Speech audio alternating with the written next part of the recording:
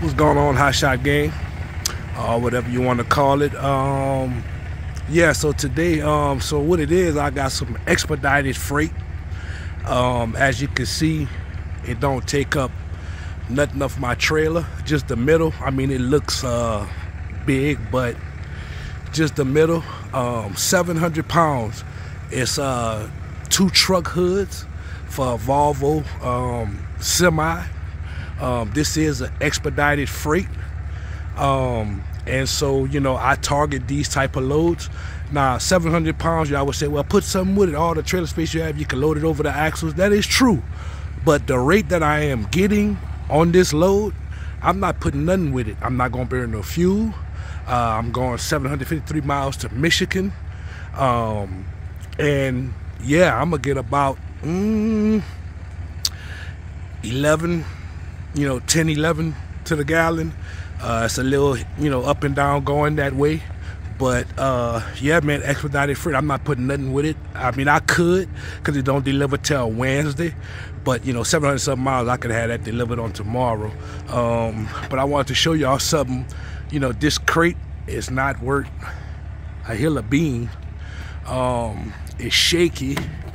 Um, my straps. See, I probably, I probably will when I get down the road, cause this ain't gonna make it. Um, I already broke, as you can see, I already broke this piece, cause coming over the top, when I put pressure on it, it uh, broke. But see how flimsy that is?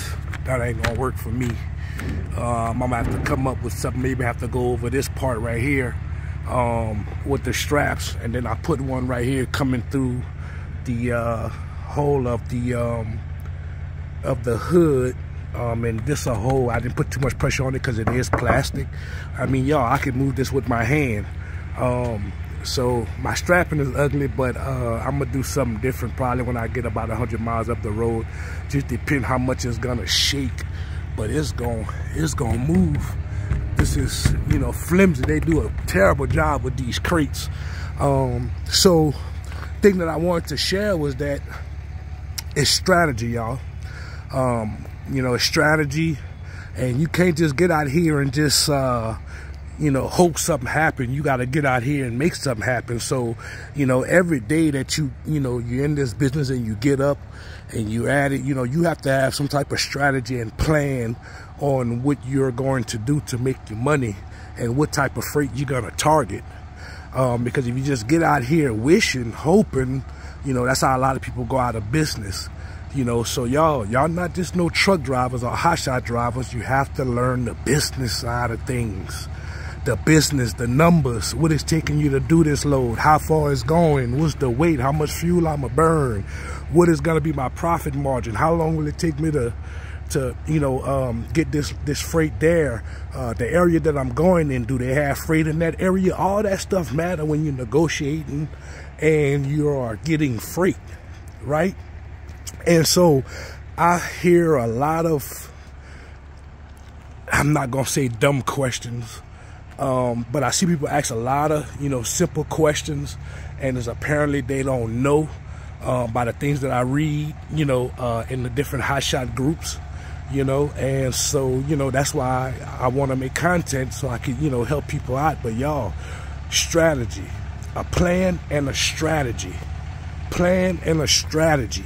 You have to know, you know, what type of freight you're targeting, you know, where the money at. You have to study analytics, you know, where does my hot shot run? You know, what, what market is paying the best rates? All that stuff comes into play, whether you're a CDL or a non-CDL, you know, truck, you know, everybody can make it, you know. Um, and the problem that's going on is that you have a lot of people, whether they CDL or non-CDL, you know, taking loads for $1.50, $1.40 a mile because y'all are forced to take it. And when I say forced, meaning that a lot of y'all running dead areas, there's no freight there, so you take the first thing smoking, you know, coming out of there. Another thing, man, just because you have a good trailer, a good truck, that don't mean you got to put 15, 16, 17, 80,000 pounds on it. I want the lightest load that's going the less miles that pay the most amount of money. That's my model. That's my model, y'all. That's my model. And I don't tear up my equipment, you know. My drivers don't tear up my equipment. My owner operators don't tear up my equipment. You know, um, even on my dis, you know, on my dispatch side of things, you know, with my dispatch company, you know, I make sure that I give these guys advice so they, they don't tear up their equipment. You know, and they'd be looking to borrow money from me, which I don't mind helping people. That's why I got into the, you know, um, going on my own and stuff like that. 17 years of messing with trucks. You know, um, it don't matter what type of freight I get.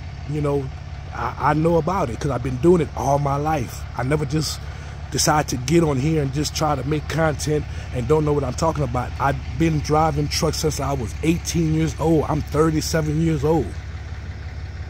Right? So, uh, I mean, it's like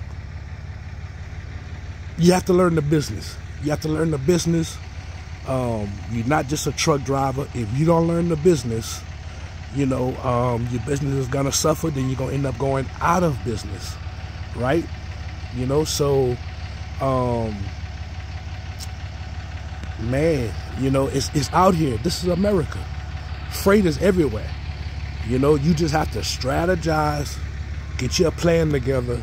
You know, um, you know, you know, one one thing about this business, you can't rely on on nobody. You have to make your own lane, your own mark in this business. Nobody gonna give you nothing.